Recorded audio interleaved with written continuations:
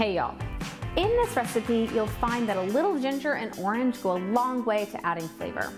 That's actually also why I like using chicken thighs, like you will in this recipe, because it's an easy way to add flavor without doing anything special. The chicken thighs are inherently flavorful. Let's cook. Heat a little oil in a pan over a medium-low flame, and then heat a little more oil in another pan over another medium-low flame. While the oil is heating up, grate the ginger and zest and juice the orange. Once the oil is hot in one pan, add the chicken thighs and sprinkle with salt and pepper. Cook for six to eight minutes or until browned. Then flip and cook for another six to eight minutes or until done. Turn off the heat.